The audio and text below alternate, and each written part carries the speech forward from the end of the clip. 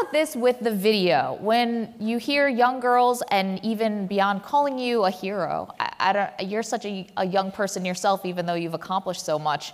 How does that feel? I mean, it's incredible, right? Like, I know that I'm very privileged. I know that I've been very lucky that my parents have been supportive of me in my career, that, that I've been able to keep going. And it's very powerful to see little kids and little girls, especially, look up to that. And, you know, everyone comes from different home environments and, you know, with different levels of opportunity. And so it's just really cool. It's very, it's very satisfying. Um, and then it also helps the community thrive different types of role models, right? I mean, I cover sports for a living. It's basically a boys' club. NASCAR and race car driving is even more so of that, right?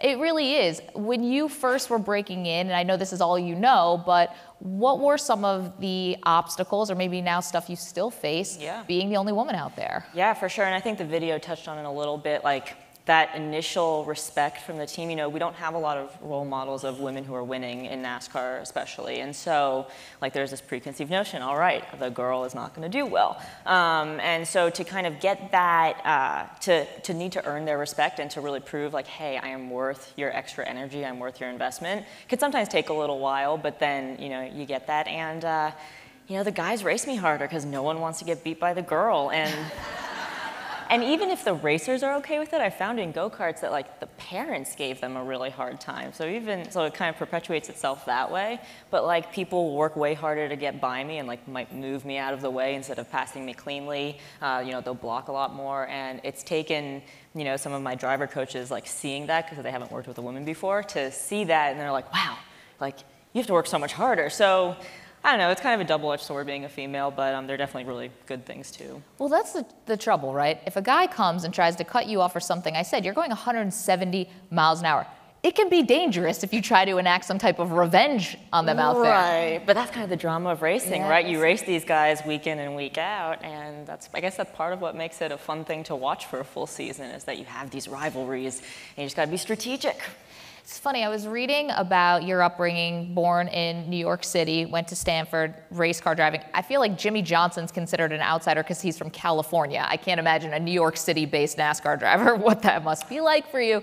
But I read that your father, your parents, thought that racing was actually the place where you were on equal footing, right? Where men and women, same track, same car, uh, same technology available. Have you found it to be true though?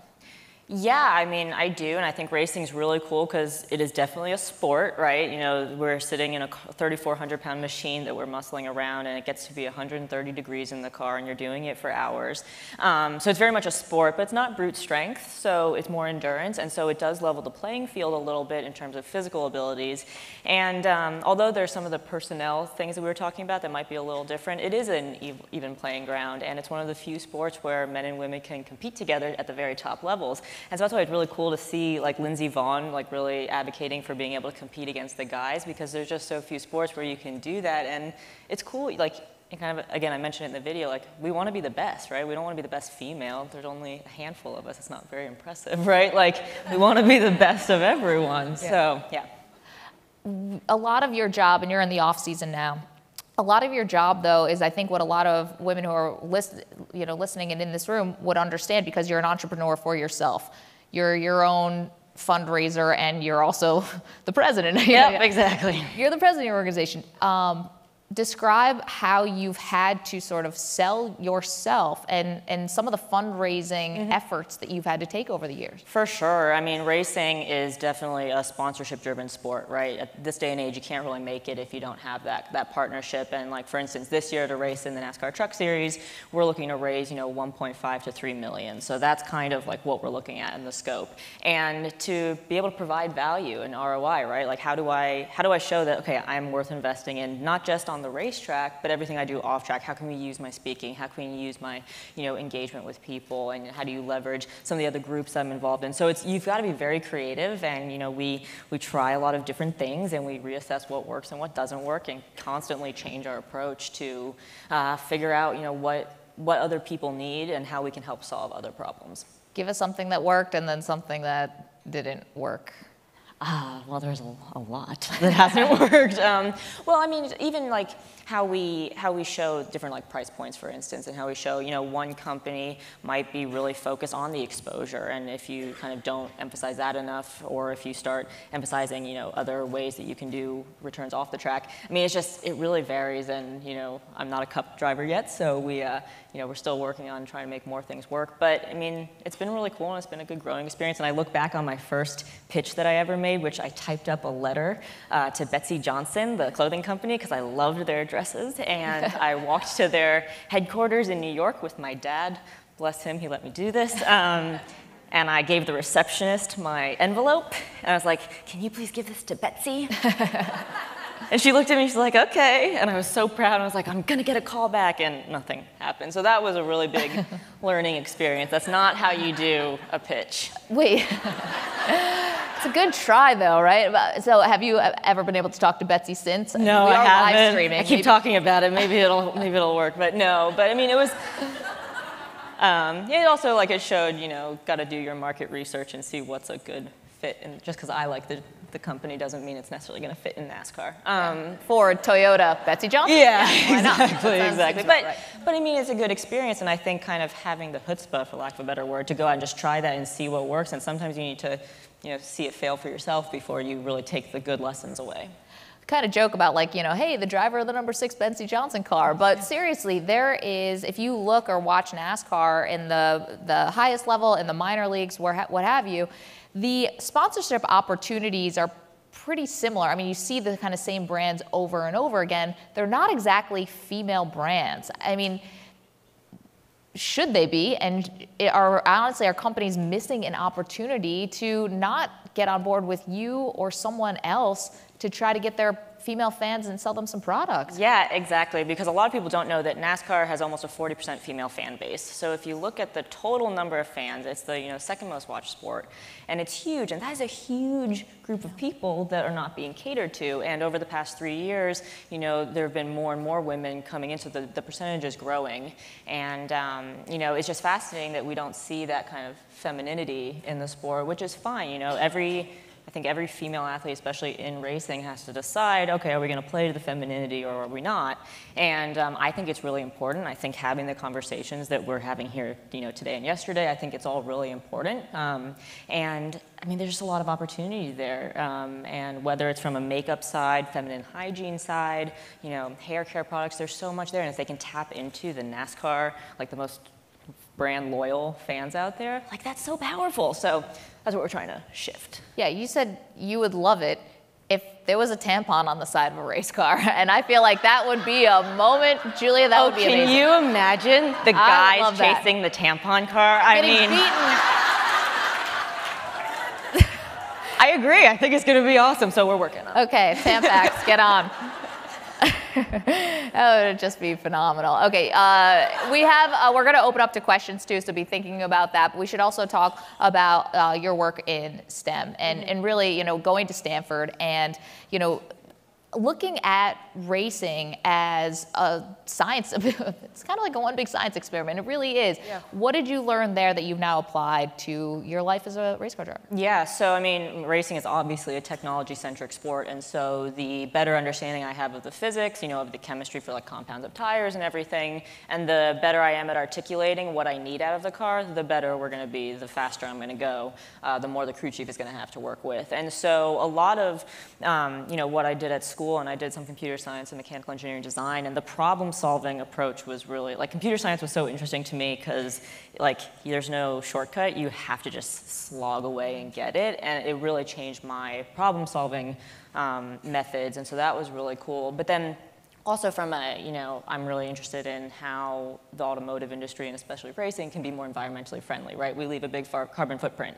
Um, so kind of taking what I've learned and some of the people I spoke with at Stanford to, um, to kind of see where, like on a sys- systemic level, like where the automotive industry can go um, is always really exciting. So constantly doing a lot of different Yeah. stuff, but it is a tech sport and I think that's really cool and I think it sometimes doesn't get the credit that it deserves. Without a doubt, and I, that with you talking, it makes me think that even past your racing days, would you want to stay on with the sport in some way, coming up with these Oh, type yeah. of innovations? Like you're in this for your life, right? Well, yeah, and even like if you take the fan perspective, like how do we use more modern technologies to, you know, to engage fans? How do we use virtual reality and all like, augmented reality to kind of engage the the person sitting at home or the person in the stands? I mean, it's so exciting, and you know, people, not everyone can go race a car, right? So how do you give them like the feeling of what that's like? So it's really cool stuff. Yeah, it's one of those things. I've been lucky enough to be in a race car. Lucky enough.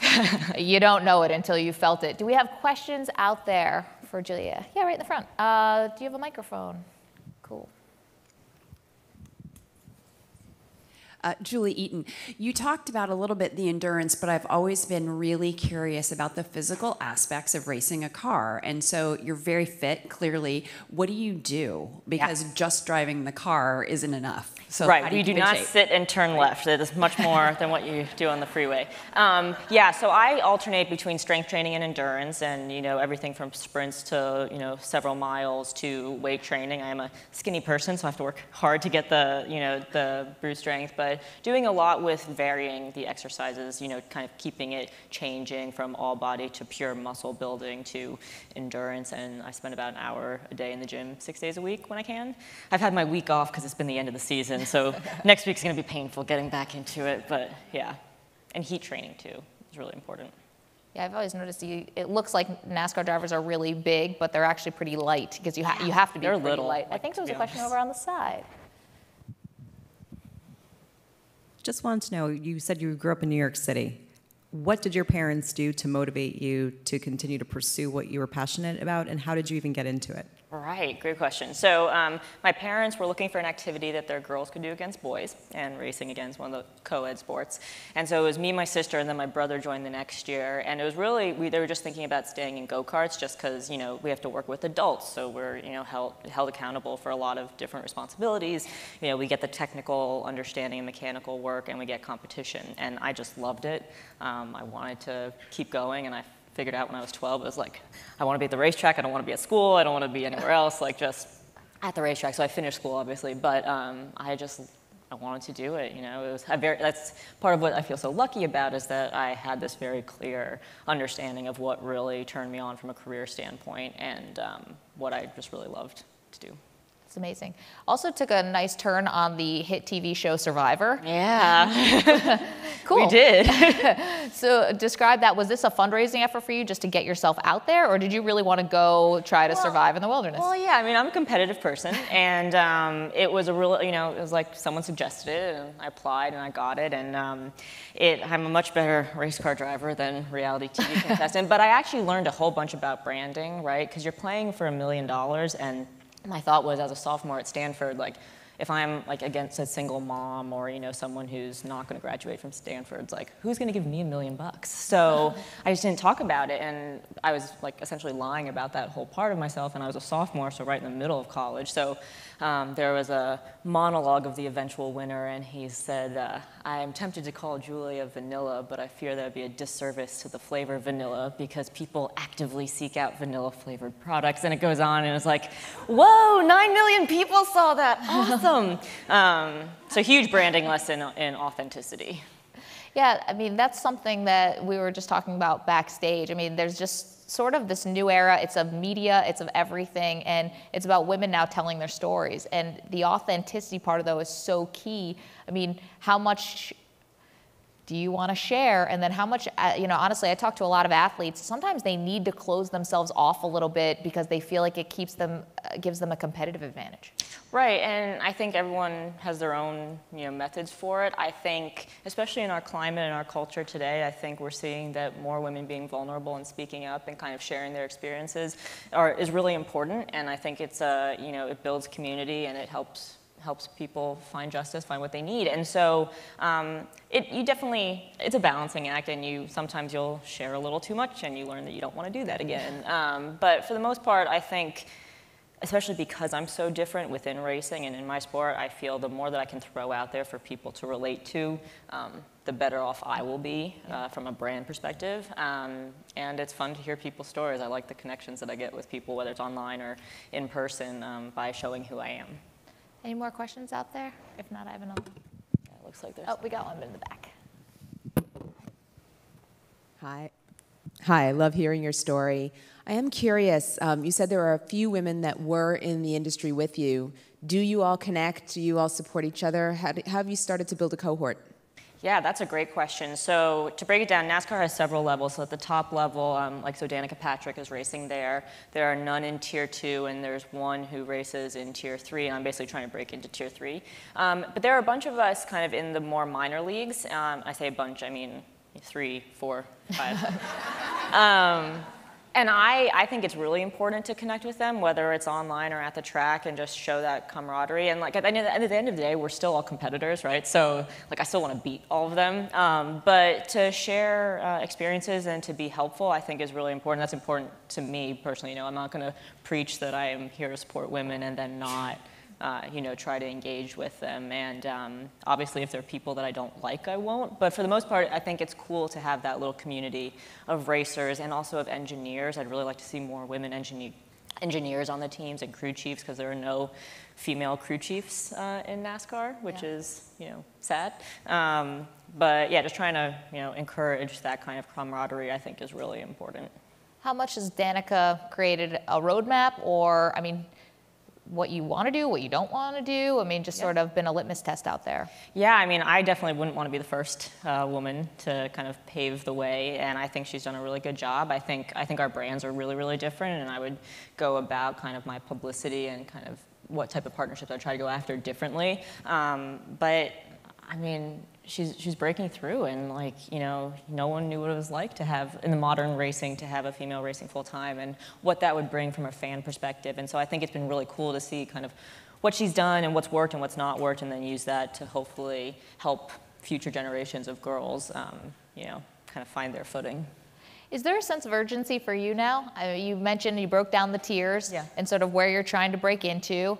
Um, you know, athletes ages, not for mm-hmm. you, you're young, but you know, time is different for, for athletes. Yeah. Um, are you feeling a sense of urgency now? Oh yeah, uh, definitely. Um, and I think, but I think I've been feeling urgency kind of in some capacity for the entirety of my career, right? You know, drivers are getting younger, but if you're a white guy, you need a differentiating factor, and I think that was a big push for the younger drivers. Um, but yeah, no, I, I want to I'm still on my journey. You know, I still haven't made it to what I consider my destination yet, and so the quicker I can get there, the better. But um, I mean, we just keep hustling. It doesn't change. You, you, know, I know what steps I have to take, and I know kind of what I have to accomplish to keep moving forward. So just focus on that, and it'll go where it goes.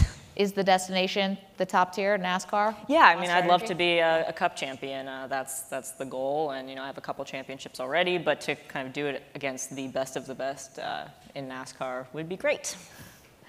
Um, we only have a minute left. Legacy. I know it's hard to ask this because you're in the middle of it. Your legacy is not written yet, but you're in a unique position. You have a voice. You're talking to a, a different audience in a lot of ways than you know the Dale Earnhardt Juniors, if you will. Mm-hmm. Um, what do you want it to be? What do you hope it is?